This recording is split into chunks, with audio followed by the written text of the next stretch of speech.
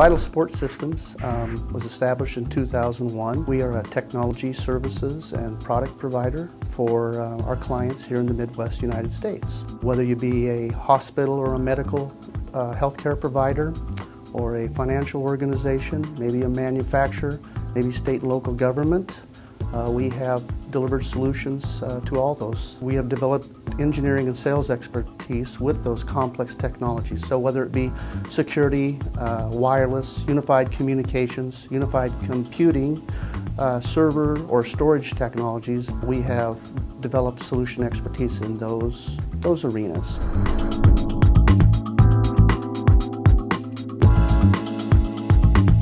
We've been very successful because of the value proposition we have offered to our customers isn't so much about what do you want to buy, although we do want we do that very well.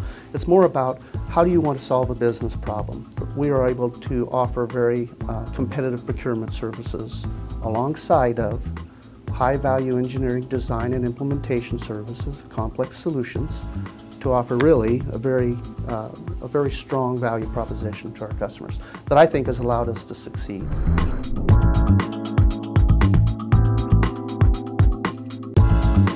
Competition is, uh, is fierce, always has been.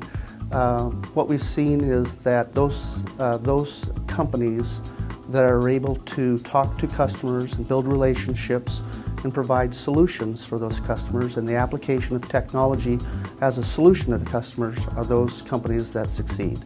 We're one of those.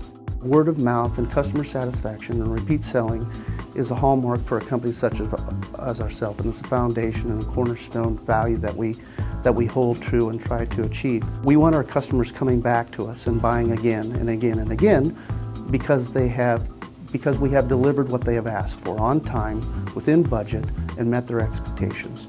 Uh, the products and services uh, from Cisco are just absolutely excellent. They're leading edge. We are, as partners, uh, developing business together, and I feel a very strong partnership with Cisco in that regard.